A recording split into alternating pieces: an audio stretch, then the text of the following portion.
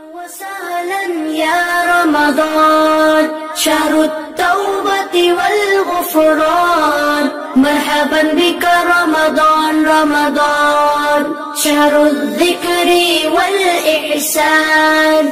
أهلا وسهلا يا رمضان. شهر الصدقة والإكرام. مرحبا بك رمضان رمضان. أهلا আসসালামু আলাইকুম রহমতুল্লাহ বরকাত আলহামদুলিল্লাহ ওসলাত ওয়াসালাম আলা রসুলিল্লাহ ও আলা আলিহি ও আসহাবিহি ওয়ামান ওয়ালা প্রিয় দর্শক আশা করছি রমাদান সিয়াম সাধনার মধ্য দিয়ে তাকওয়া অর্জনের মহান উদ্দেশ্যে সুন্দর মতোই কাটাচ্ছেন এবং রমাদানের বিভিন্ন উপহার গ্রহণ করছেন। সুযোগগুলো কাজে লাগাচ্ছেন। আল্লাহর কাছে তৌফিক কামনা করছি। তিনি যেন আমাদের জীবনটাকে সুন্দর করেন এবং রমাদানের মতো এই ইবাদতের মৌসুমটিকে পরিপূর্ণ সদ্ব্যবহার করার তৌফিক দান করেন। আমিন। আপনাদের যে প্রশ্নগুলো নিয়ে আজকে আমি এখানে বসেছি, তার থিমটা হচ্ছে রমাদানের আমলসমূহ। রমাদানের আমলসমূহ। এ বিষয়ক বেশ কিছু প্রশ্ন আমরা আজকে নেব। প্রথম প্রশ্ন হচ্ছে, রমাদান মাসের সবচেয়ে গুরুত্বপূর্ণ আমলটা কি? কীভাবে সেটা পালন করব? কোনো সন্দেহ নেই, রমাদান হচ্ছে একটা সেরা মৌসুম ইবাদতের মৌসুম আল্লাহর পক্ষ থেকে একটা সেরা উপহার এবং একটা বরকতময় মাস। পূর্ণ একটি মাসে আল্লাহ সুবহানাহু ওয়া তাআলা বান্দাকে তাকওয়ার প্রশিক্ষণ দেওয়ার জন্য অনেকগুলো প্রোগ্রাম দিয়েছেন। অনেকগুলো প্রোগ্রাম দিয়েছেন। আপনার প্রশ্ন হচ্ছে, সবচেয়ে গুরুত্বপূর্ণ প্রোগ্রামটা কি, অর্থাৎ আমলটা কি? সেটি হচ্ছে, রমাদান মাসের যে আমলটাকে কেন্দ্র করে আল্লাহ তালা ইসলামের একটা রোকন বানিয়ে দিয়েছেন সেটা হচ্ছে সবচেয়ে গুরুত্বপূর্ণ আমল। এবং সেটা হচ্ছে সিয়াম ও রমাদান। এবং হাদিসের ভাষায় কোথাও কোথাও এসছে, সৌম রমাদান। যেটি আবদুল্লাহ ইবনে অমর রদি আল্লাহ তাল্লাহর হাদিসে তিনি যখন পাঁচটা রোকন নবী সাল্লাহ সাল্লামের কাছ থেকে বর্ণনা করলেন, সেখানে এসছে বনি আল ইসলাম ও আল্লাহ খামসিন শাহাদাত আল্লাহ ইলাহ ইল্লাল্লাহ ও আন্না মাহমুদ রাসুল্লাহ ওয়া ইতা ইজাকা ওয়া সৌম রমাদান ও হাজ্জুল বাইতে মান সাবিলা। ইসলাম পাঁচটি জিনিসের উপর স্থাপিত, একটা হলো কথা সাক্ষ্য দেওয়া যে আল্লাহ ছাড়া সত্যিকার আর কোনো ইলাহ নেই এবং মোহাম্মদ সাল্লাহ সাল্লাম আল্লাহর বান্দা ও রাসুল সালাদ কায়েম করা জাকাত প্রদান করা রমাদানের সিয়াম পালন করা এবং সমর্থবান ব্যক্তিদের জন্য হজ করা। তাহলে আমরা এই হাদিস থেকে স্পষ্টভাবে জানতে পারলাম রমাদান মাসের সবচেয়ে গুরুত্বপূর্ণ আমল হচ্ছে সে আমলটি যেটি ইসলামের একটি অন্যতম রোকন হিসাবে গণ্য, সেটি হলো সিয়াম। সিয়াম কীভাবে পালন করবেন এই বিষয়ে আমরা অনেক আলোচনা করেছি এবং আসলে আমাদের সবারই জানা আছে। তারপরেও জাস্ট আমি কি পয়েন্ট হিসাবে দুটো বিষয় তুলে ধরছি। একটি হলো রমাদানের ফিজিক্যাল যে বিষয়টা আছে, সেটা আমাকে গড়ে তুলতে হবে। সেটা কি? সেটা হচ্ছে সুবে সাদেক থেকে নিয়ে সূর্যাস্ত যাওয়া পর্যন্ত পানাহার বর্জন করতে হবে এবং স্বামী স্ত্রীর সম্পর্ক স্থাপন, বর্জন করতে হবে। স্বামী স্ত্রীর মেলামেশা বর্জন করতে হবে। এটা হলো রমাদানের দৈহিক অবয়ব।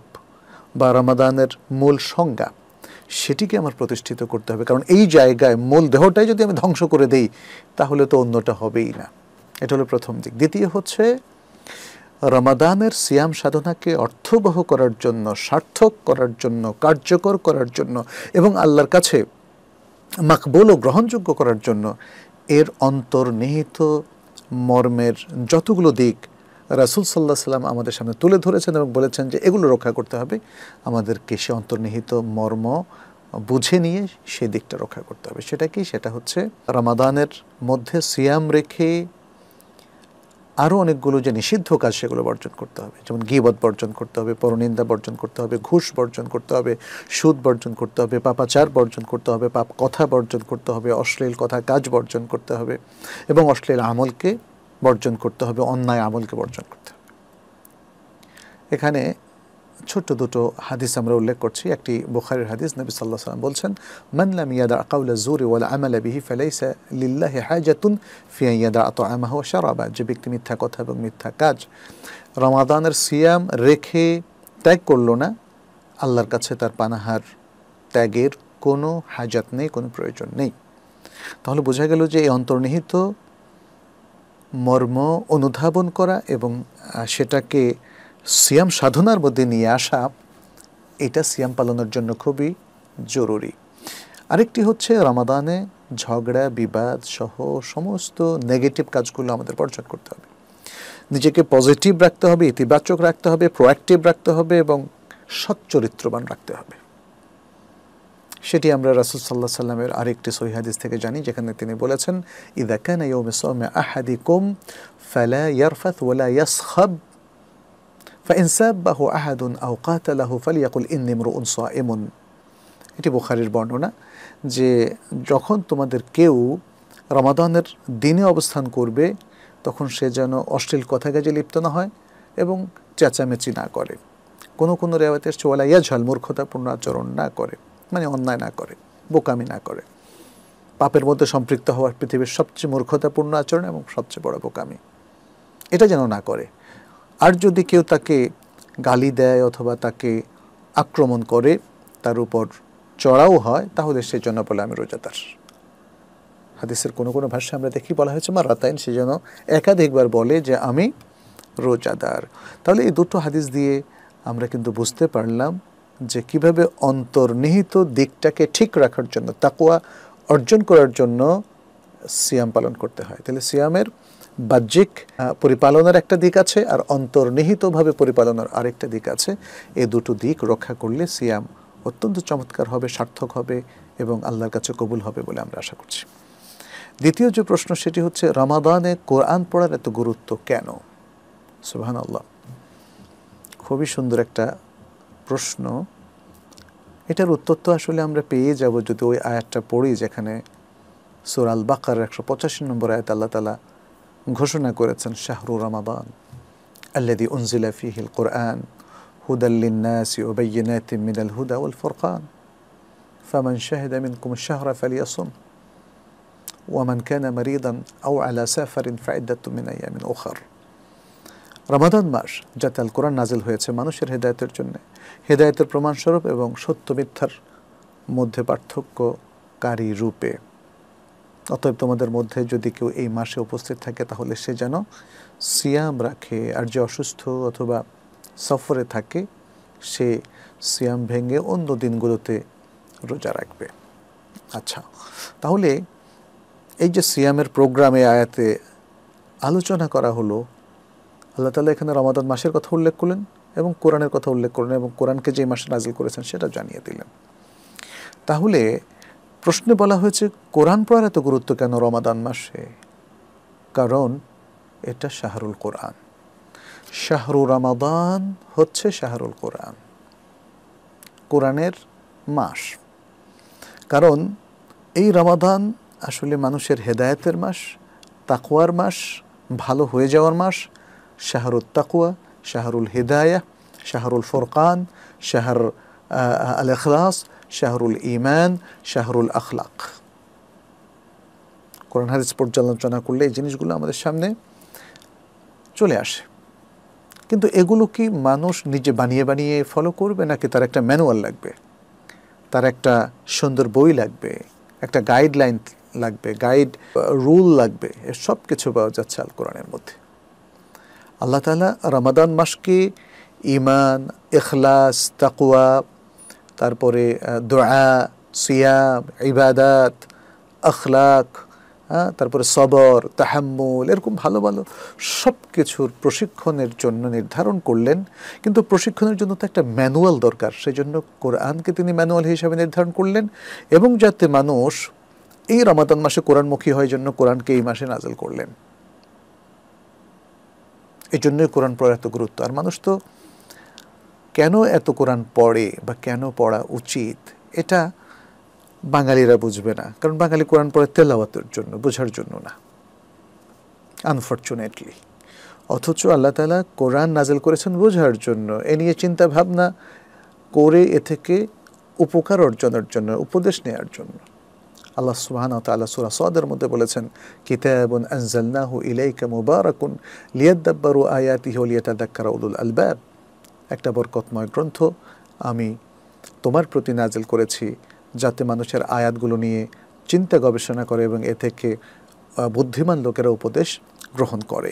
তাহলে, কোরআন হচ্ছে গবেষণার গ্রন্থ, জানার গ্রন্থ, বোঝার গ্রন্থ এবং সে বোঝার আলোকে আমলের গ্রন্থ।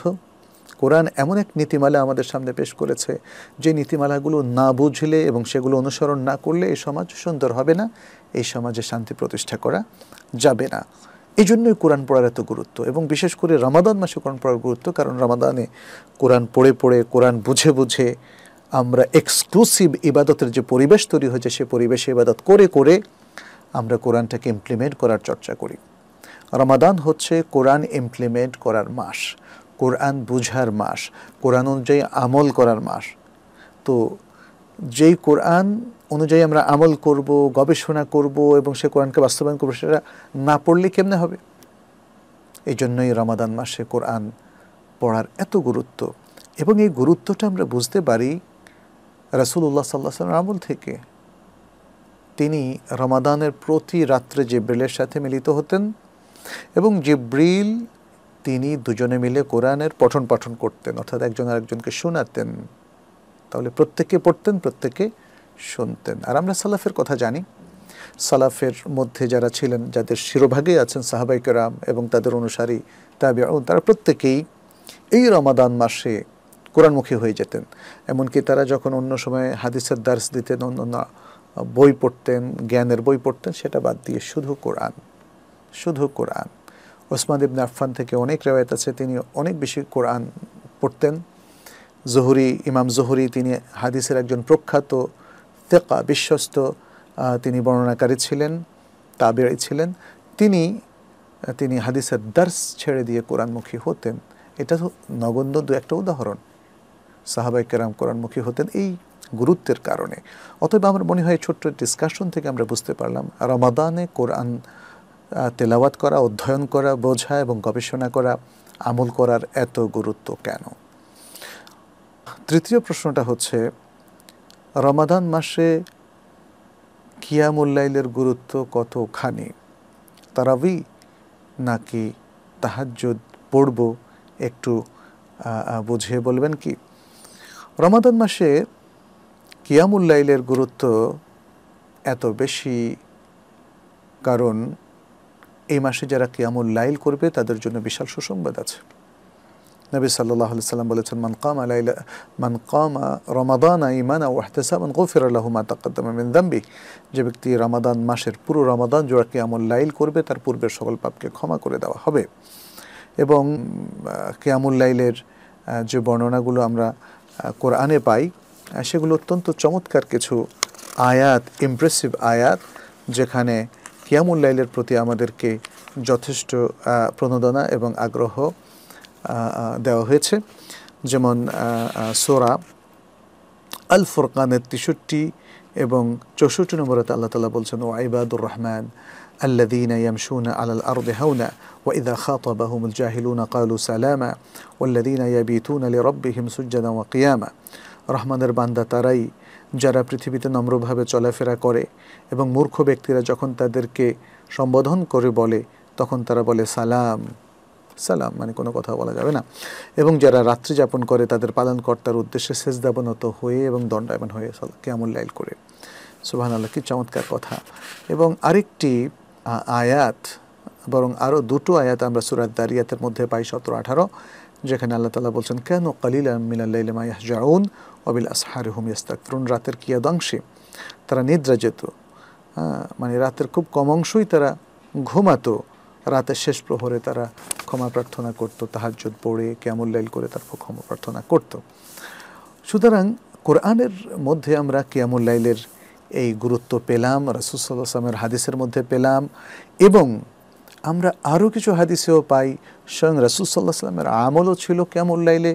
অভ্যস্ত হওয়া যেমন আয়েশা রাদি আল্লাহ তাল আনহা একটা হাদিসে যে হাদিসটি ইমাম আহমেদ বর্ণনা করেছেন আবু দাউদ বর্ণনা করেছেন সহি সানাদে আয়েশা রাদি আল্লাহ তাল আনহা বলছেন لا تدع قيام الليل فإن رسول الله صلى الله عليه وسلم كان لا يدعه وكان إذا مرض أو كسل صلى قاعدا তুমি কিয়ামুল্লাইল তরক করো না কারণ রাসুল্লাহ সাল্লাহ সাল্লাম তিনি কিয়ামুল্লাইল তরক করতেন না তিনি যখন অসুস্থ হতেন কিংবা অলসতা বোধ করতেন, তখন তিনি বসে সালাত পড়তেন। তারপরেও তিনি তরক করতেন না।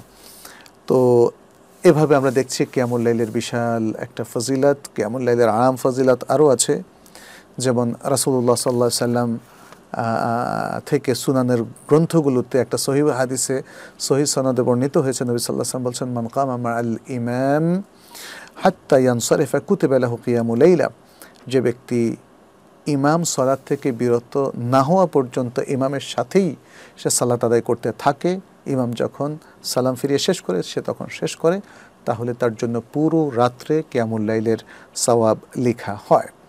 তাহলে এত সব আলোচনা থেকে আমরা সহজে বুঝতে পারছি কিয়ামুল্লাইলের গুরুত্ব কতটুকু এবং এটাও বুঝতে পারছি রমাদানে কিয়ামুল্লাইলের গুরুত্ব আরও অনেক বেশি। কারণ কিয়ামুল্লাইলকে তখন আনুষ্ঠানিক পর্যায়ে আদায়ের একটা একটা চমৎকার দৃষ্টান্ত আমরা দেখি। স্বয়ং রাসুল্লাহ সাল্লাহ সাল্লাম বোখারির বর্ণনা এসেছে, তিনি তিন তিন দিন পেছনে সাহাবাদেরকে নিয়ে কেমন কিয়ামুল্লাইল আদায় করেছেন? যদিও তিনি অবশ্য এটা প্ল্যান করে করেননি, সাহাবারা তার পেছনে একত্রিত হয়ে গেছেন এবং চতুর্থ দিন তিনি আর আসেননি কারণ তখন অন্যরা মনে করবে এটা একটা রেওয়াজ হয়ে গেল এবং এটা ফরজ হয়ে গেল। এই ধারণা থেকে জাতিকে রক্ষা করার জন্য তিনি চতুর্থ দিন থেকে জামাতের সাথে কেয়ামুল্লাইল কিংবা রাতের সালা পড়াটা তিনি বাদ দিয়ে দিলেন, কিন্তু রাতের সালা বাদ দেননি। আর এই সুন্নাটাকে অমর আব্দুল খত্তাব রাদি আল্লাহ তালাহ উবাই ইবনে কায়েবের নেতৃত্বে তিনি এটাকে রিভাইভ করলেন এহিয়া পুনরুজ্জীবন, পুনরুজ্জীবিত করলেন, পুনরায় চালু করলেন। অতএব তিনি আসলে একটা সুন্না যেটা রাসুসাল্লাহ সাল্লামের পরে আর কেউ তেমন করেননি এভাবে জামাতের সাথে সেটা ওমর আব্দুল আল খাত্তাব রাদি আল্লাহ তালা সে করলেন, অতএব এটা নতুন কোনো কিছু ছিল না। সেই থেকে মুসলিম উম্মাহ সালাতুত তারাবি কিয়ামুল্লাইলের এই মহান আমলটিকে এসার পরে তারা জামাতের সাথে চালু করলেন, পড়া শুরু করলেন। অতএব আমরা বলব কিয়ামুল্লাইলের গুরুত্ব ঐতিহাসিক কারণে রাসুল সাল্লাহ সাল্লামের আমলের কারণে, সাহাবাদের আমলের কারণে এবং রাসুল সাল্লাহ সাল্লামের সেদিকে প্রণোদনা দেওয়ার কারণে তার বিশেষ ফজিলতের কারণে অত্যন্ত গুরুত্বপূর্ণ। এখন আমরা তারাবি পড়ব না তাহাজ্জুদ পড়ব? তারাবি এবং তাহাজ্জুদ, এটা কি আলাদা নামাজ নাকি একই নামাজ? এই প্রশ্নটা আমাদের মধ্যে ফ্রিকোয়েন্টলি অনেকেই করে থাকেন এবং যে যার মতো উত্তর দিয়ে থাকেন। কারও মতে তারাবি আলাদা, তাহাজ্জুদ আলাদা। তারাবি হলো প্রথম রাতে আর তাহাজ্জুদ হলো শেষ রাতে। আর কেউ কেউ বলেন যে না তারাবি এবং তাহাজ্জুদ এশার পরের সালাহ ফজর আগের সালাহ, অতএব এটা হলো কিয়ামুল্লাইল তারাবি এবং তাহাজ্জুদ দুটোই রাতের সালাহ, এতে কিন্তু কোনো সন্দেহ নেই।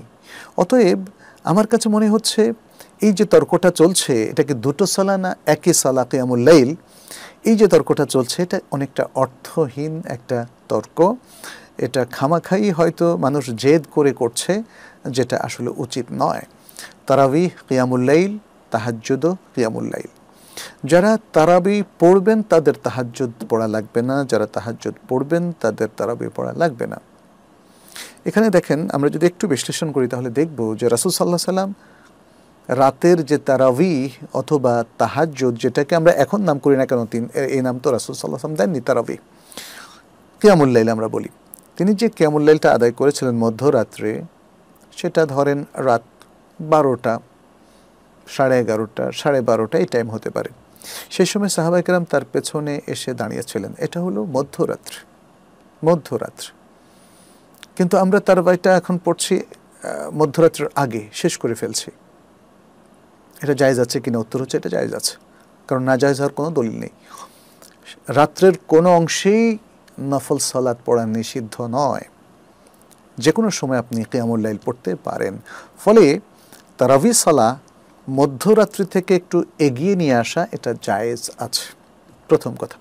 আচ্ছা মধ্যরাত্রিতে একটু দেরি করে নিয়ে পড়া কি জায়েজ আছে? উত্তর হচ্ছে হ্যাঁ সেটা তো রাসুল সাল্লাহ আসলাম করেই দেখিয়েছেন। সাহাবাই কেরামর অনেক আমল ছিল।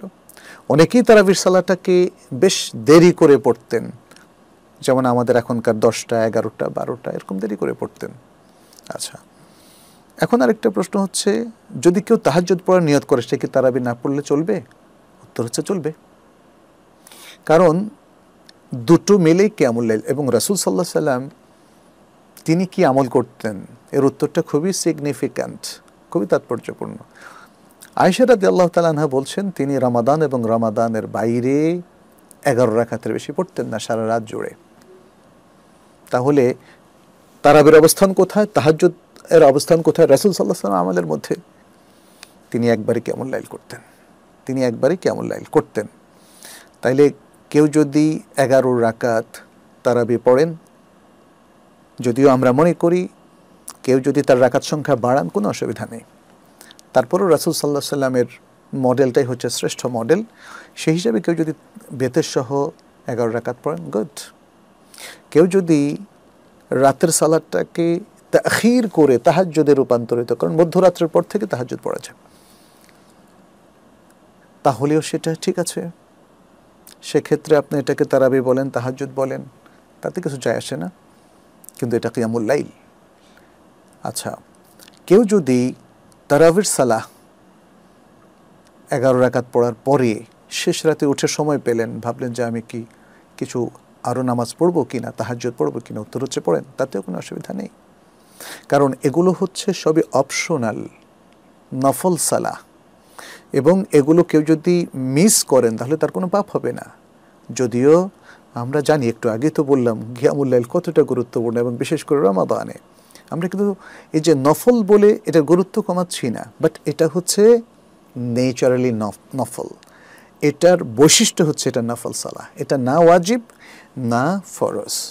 ফলে ফরজ ওয়াজিবের নিচে যেটা, সেটাই হচ্ছে অপশনাল নফল সালাহ সেটা যে প্যাটার্নেরই হোক না হোক না কেন, সেটা যদি রাসুল সাল্লাহ আসলামের আমলি সুন্না দ্বারা প্রমাণিত হয়, কাউলি সুন্না দ্বারা প্রমাণিত হয়, তবুও সেটা নফল, যেটা ছেড়ে গেলে কোনো পাপ নেই।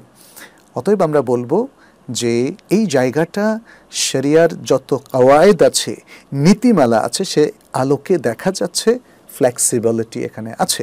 এই জন্যে মহাক্কিক ওলামাই মহাক্কিক ইমাম সকলেই কিন্তু এই জায়গায় ফ্লেক্সিবল থেকেছেন। যে রাতের সালাদটা কম বেশি পড়তে অসুবিধা নেই। রাসুল সাল্লাহ সাল্লামের সমপর্যায় পর্যন্ত পৌঁছতে পারলে খুবই ভালো। তার থেকে কম পড়ে যদি কেউ ছেড়ে দেন, তারও কোনো অসুবিধা নেই। তার থেকে বেশিও যদি রাকাত সংখ্যা পড়েন এই জন্য শেখুল ইসলাম এবনে তাইমিয়া এটাকে কখনো এইভাবে যে যেমন ছত্রিশ, উনচল্লিশ, তেতাল্লিশ, তেষট্টি রাকা বা তারও বেশি পড়ার অনুমতি পর্যন্ত তিনি দিয়েছেন শেখুল ইসলাম এবনে তাইমিয়া, বিশ্ববিখ্যাত। এছাড়া চার ইমামের কথার মধ্যেও আমরা দেখি যে আট রাকাতের বেশি পড়ার অপশন তারা দিয়েছেন। অতএব আপনি তারাভি পড়েন, কোনো অসুবিধা নেই, তার উপরে একতেফা করেন। কিংবা আপনি তাহাজ্জুদ পড়েন, তাতেও কোনো অসুবিধা নেই। অথবা তারাবি পড়ার পরে আপনি তাহাজ্জুদ আরও কিছু পড়তে চান, এতেও কোনো অসুবিধা নেই। আমরা আমাদের মাদিনা ইউনিভার্সিটির শাহেকদেরকে দেখেছি, তারা তারাবিতেও এসেছেন, তাহাজ্জুদও এসেছেন। আমরা যখন ছাত্র ছিলাম, তাদেরকে প্রথম রাতে তারাবিতেও দেখেছি, তাহাজ্জুদেও দেখেছি। কিন্তু একটা জিনিস শুধু মনে রাখতে হবে, বেতের হবে একবার, বেতের হবে একবার। আচ্ছা এরপরে আমরা আপনাদের আরেকটি প্রশ্নে যাচ্ছি, চার নম্বর প্রশ্ন, রমাদানে নবী সাল্লাহ সাল্লাম কেন দান খয়রাত বাড়িয়ে দিতেন? সাদাকা করার গুরুত্ব সম্পর্কে জানতে চাই। রমাদানে সাদাকা করার গুরুত্ব সম্পর্কে জানতে চাই। আচ্ছা এখানে দুটো প্রশ্ন করেছেন। এটা রমাদানের একটা গুরুত্বপূর্ণ আমল, দান খয়রাত সাদাকা। এখানে আমরা একটা বিশুদ্ধ হাদিস পাচ্ছি যে নবী সাল্লাহ আলাইহি ওয়াসাল্লাম তিনি রমাদান মাসে অনেক বেশি দান খয়রাত করতেন। ইবনে আব্বাস রাদি আল্লাহ তাল্লাহ্ন থেকে আদিসটা এসছে। সহি বুখারিতে বর্ণিত হয়েছে। যে তিনি বলেছেন كان رسول الله صلى الله عليه وسلم أجود الناس وكان أجود ما يكون في رمضان حين يلقاه جبريل رسول الله صلى الله عليه وسلم মানুষের মধ্যে সবচেয়ে বেশি দানশীল ছিলেন এবং তিনি রমাদান মাসে যখন জিব্রিলের সাথে সাক্ষাৎ হতো সাক্ষাৎ করতেন তখন আরও বেশি দানশীল হয়ে উঠতেন এই হাদিসের শেষে এসে রাসুলুল্লাহ সাল্লাহ সাল্লাম সম্পর্কে ইবনে আব্বাস বলেন যে, ফালা রাসুল্লাহ সাল্লাহ আলহি ওয়াসাল্লাম হিনা ইয়ালকাহু জিব্রিল আজুয়াদা আজুয়াদু বিল খৈরে মিনার রেহেল মুরসালা। যে, রাসুলুল্লাহ সাল্লাহ সাল্লাম যখন জিব্রিলের সাথে সাক্ষাতে মিলিত হতেন, তখন তিনি বেগবান বায়ুর চাইতেও আরও অনেক বেশি দানশীল হয়ে উঠতেন। এখন রাসুল সাল্লাহ সাল্লাম বুঝলাম তিনি সবচেয়ে বেশি দানশীল ছিলেন। রমদানের তিনি দান বাড়িয়ে দিতেন। এই তথ্যগুলো আমরা এই হাদিসে পেলাম, বোখারের হাদিস। কেন তিনি তার দানশীলতা বহুগুণে বাড়িয়ে দিতেন? এ প্রসঙ্গে আমরা দেখি ওলামাই কারাম এটা নিয়ে অনেক গবেষণা করেছেন। তারপরে তাদের অনেকেই বলেছেন, মূলত তিনটি কারণে নবী সাল্লাহ আলহি ওয়াসাল্লাম রমাদান মাসে দান খয়রাত বাড়িয়ে দিতেন। এক নম্বর, রমাদান মাসে দান সাদাকা সহ সকল উত্তম আমলের সব বহুগুণে বৃদ্ধি পায়। যেহেতু যদি মৌসুমটা হয় বারাকার দিলে বারাকা বেশি, স্বাভাবিক। এখানে অনেক দাইফ হাদিসে যা এসছে সেটা আমাদের গ্রহণ করা জরুরি নয়। বাট এই ইমপ্রেশনটা এই এই জ্ঞানটা আমরা সহজেই পাচ্ছি যে হ্যাঁ রমাদান মাসের সব কিছুর মর্যাদা অনেক বেশি, ফজিলত অনেক বেশি। দ্বিতীয় যে কারণটি, সেটি হলো নবী সাল্লাহ সাল্লাম রমাদান মাসে খুব বেশি করে কোরআন তেলাওয়াত করতেন। কোরআনের বহু আয়াতে আল্লাহ আল্লাহ আজ্লার রাস্তায় ব্যয়ের প্রতি উদ্বুদ্ধ করা হয়েছে। যেমন আল্লাহ সুমতাল্লাহ বলেন মন্দাল্লাদি ইউকরিদুল্লাহ করদান হাসানা ফাইউদা ইফাহু লাহু আদা আফান ক্যাথিরা কে সে যে আল্লাহ জাল্লাকে কার্দে হাসানা প্রদান করবে অতপর তিনি তার জন্য তা বহুগুণে বৃদ্ধি করবেন আল্লাহ সুবাহতালা আরও বলেছেন আরেকটি আয়াতে সুরাল বাকারা দুশো একষট্টি مثل الذين ينفقون أموالهم في سبيل الله كمثل حبة أنبتت سبع سنابل في كل سنبلة مئة حبة والله يضاعف لمن يشاء والله واسع عليم যারা নিজেদের ধন সম্পদ আল্লাহ সুবাহতাল্লার পথে ব্যয় করে তাদের উপমা একটি শস্য বীজের মতো, যা ষাটটি শীষ উৎপাদন করে। প্রত্যেক শীষে একশত শস্য দানা, আর আল্লাহ সুবাহান হতে আল্লাহ যাকে ইচ্ছা বহুগুণে বৃদ্ধি করে দেন, আর আল্লাহ দানশীল, সর্বজ্ঞ। তাহলে আসলে পুরো কোরআন জুড়েই রয়েছে ইনফাক ফিসাবিল্লা আল্লাহর পথে ব্যয় করার জন্য। অনেক ফজিলাত, অনেক সুন্দর সুন্দর কথা, অনেক উদ্বুদ্ধ এবং অনুপ্রেরণাদায়ক কথা। ফলে রাসুল সাল্লাহ সাল্লাম এগুলো দ্বারা উদ্বুদ্ধ হয়েছেন। এবং সে কারণে তিনি তার দান খয়রাত বাড়িয়ে দিতেন। তৃতীয় আরেকটি কারণ অনেক উল্লেখ করেছেন, রমাদানের প্রতি রাত্রে জিব্রিল আলাইসাল্লামের সাক্ষাতে তিনি ভীষণভাবে দান করতে অনুপ্রাণিত হতেন। যেটা আমরা দেখলাম যে হিনা ইয়ালকাহু জিব্রিল, রাসুলুল্লাহ সাল্লাহ সাল্লাম দানশীলতায় বেগবান বায়ুর চাতে শক্তিশালী হয়ে যেতেন হেইনা ইয়ালকাহু জিব্রিল, যখন তিনি জিব্রিলের সাথে রমাদানের প্রতি রাত্রে মিলিত হতেন। বুখারের হাদিস থেকে সেটাই জানা যাচ্ছে। অতএব রাসুল সাল্লাহ সাল্লাম কেন দান খয়রাত বাড়িয়ে দিতেন রমাদানে সেটা আমরা পেলাম। এখন সাদাকার গুরুত্ব সম্পর্কে সেটা কিন্তু এসেই গেছে। কারণ এটা আমাদের জন্য, দুনিয়া আখেরাতের কল্যাণের জন্য, মানুষের দারিদ্র মোচনের জন্য, দুস্থ মানুষদের পাশে দাঁড়ানোর জন্য এটা খুবই জরুরি। এটা আমাদের জীবনটাকে সুন্দর করে আর সাদাকা তো তুৎফে ও গাদাবার রব সাদাকা আল্লাহর ক্রোধকে সংবরণ করে এবং সাদাকা এটা এটা আমাদের সম্পদকে বাড়ায়, বরকত বাড়ায়। ইয়াম হাকুল্লাহ রিবা ইউরবি সাদাকাত সুর আল বাকার মধ্যে আল্লাহ তালা বলেছেন, আল্লাহ তালা রিবাকে মিটিয়ে দেন এবং তিনি সাদাকাকে বাড়িয়ে দেন। হ্যাঁ এই সমস্ত নানা কারণে আমরা দেখতে পাচ্ছি, অসংখ্য আয়াত আছে আসলে সম্পর্কে। তাহলে সাদাকা করার গুরুত্ব অনেক বেশি। মনটা বড় হয়, উম্মার প্রতি একটা ভালোবাসা গরিব মানুষের প্রতি একটা টান, একটা আকর্ষণ, তাদের প্রতি একটা দায়িত্ববোধ, সমাজের প্রতি একটা দায়িত্ববোধ তৈরি হয় সাদাকা দেওয়ার মধ্য দিয়ে। সুতরাং রমাদানের এই সাদাকার প্রোগ্রামটাও আত্মগঠনের প্রোগ্রাম, সমাজ গঠনের প্রোগ্রাম, সমাজকে অর্থনৈতিকভাবে স্বাবলম্বী করার প্রোগ্রাম।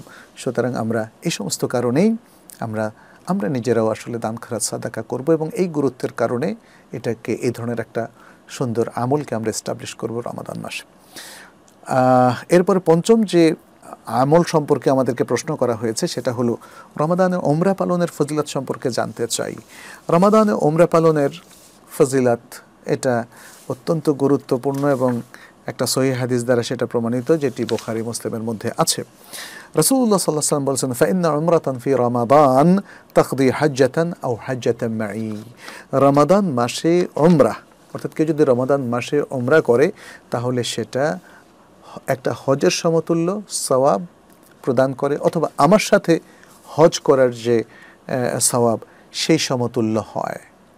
ব্যাস, তাহলে রমাদান মাসে যারা সক্ষম, যারা সামর্থ্যবান, সচ্ছল এবং হজ করার মতো ওমরা করার মতো তাদের প্রয়োজনীয় খরচ আছে, তারা ওমরা করবেন। তবে যাদের ওমরা করার সামর্থ্য নেই, তারা ধার কর্য করে এটা করবেন না। তারা অন্য আমল করলেই আসলে তার রিকাভারি হয়ে যাবে। যাই হোক আমরা ওমরা পালনের প্রতিও এখানে উদ্বুদ্ধ করছি। ছয় নম্বর প্রশ্ন হলো, রমাদানে এতেকাফ করা কি ওয়াজিব? কতদিন করতে হয়? না, রমাদানে এতেকাফ করা ওয়াজিব নয়, বরং সন্না রসুল সাল্লাহ তার জীবনের শুরুর দিকে যখন সিয়াম ফরজ হয়, একদম শুরুর দিকে যখন তাকে জানানো হলো লাইলাতুল কাদার নামে একটা সুন্দর রাত্র আছে, তার অনুসন্ধানে তিনি প্রথম দশ দিনে এতেকাফ করলেন। তাকে বলা হলো, তুমি যা খুঁজছ, সেটা সামনে আছে। তখন তিনি মাঝখানের দশ দিনে এতেকাফ করলেন। তাকে বলা হলো, তুমি যা খুঁজছ, তা আরও সামনে। তখন তিনি বুঝলেন যে রমাদানের শেষ দশকে হচ্ছে লাইলাতুল কাদার এবং পরবর্তীতে ওহি এর মাধ্যমে তিনি সেটা জানতে পারলেন। ফলে তিনি পরবর্তীতে অনেকগুলো হাদিসে লাইলাতুল কাদার শেষ দশকে খোঁজার জন্য তিনি নিজে নির্দেশনা দিলেন। তো রাসুল সাল্লাহ সাল্লাম নিজে রামাদান মাসে এতেকাফ করেছেন এবং তার মৃত্যুর পরে তার স্ত্রীরা এতেকাফ করেছে। একটা হাদিস আমরা যেটা সাহেবখানের মধ্যে পাই, সেখানে এসেছে এভাবে আয়তাকাফা রাসুল্লাহ সাল্লাহ সাল্লাম আশর আল আউ্ল মিন রমাদান ও আয়তাকাফনা ফা ফাহু জিবরিল ফকালা ইন্নাল্লাদি তাতলুবু আমামাক فاعتكف العشر الأوسط فاعتكفناه معه فأتاه جبريل فقال إن الذي تطلب أمامك فقام النبي صلى الله عليه وسلم خطيبا صبيحة عشرين من رمضان فقال من كان اعتكف مع النبي صلى الله عليه وسلم فليرجع এখানে সেই ঘটনাটা বর্ণনা করা হয়েছে যেটা আমরা বললাম যে রাসুল সাল্লাহ সাল্লাম প্রথমে দশ দিন তারপরে মাঝখানে এবং পরে তিনি শেষ দশকে এতেকাফ করলেন, হাদিসে এসছে, তার মৃত্যুর পরে তার সাহাবাই কেরাম এবং তার স্ত্রীগণও শেষ দশকে এতেকাফ করতেন এবং এই নির্দেশনার পরে রাসুল সাল্লাহ আসলাম জীবনের বাকি কয়েকটা রমাদানের শেষ দশকে এতেকাফ করেছেন। সুতরাং এতেকাফ করা একটা অত্যন্ত গুরুত্বপূর্ণ আমল রমাদান মাসের, ফজিলতময় আমল, যেটি আমাদের করা উচিত এবং মনে রাখতে হবে সেটা ওয়াজিব নয়। এতেকাফ নিয়ে আসলে অনেক বড় আলোচনা, আমরা সেদিকে যাচ্ছি না। তবে এতেকাফ যেমন মসজিদে করতে হয় আমরা জানি, এতেকাফ ঘরে করলে হবে না। মসজিদে ইবাদতের নিয়ত অবস্থানটাকে এতেকাফ বলা হয় এবং এর সর্বনিম্ন সময় নিয়ে আমাদের অনেক একতলাফ আছে। তবে কিছু সময় যদি কেউ মসজিদে এতেকাফের নিয়তে, ইবাদতের নিয়তে থাকে, তাহলে সেটা এতেকাফ হতে পারে। কারও মতে সেটা একদিন এক রাত, কারও মতে তার চেয়েও কম সময়, কারও মতে সেটা আরও বেশি সময় এবং কেউ রমাদানের জন্য শেষ দশক পুরোটাই থাকতে বলেছেন।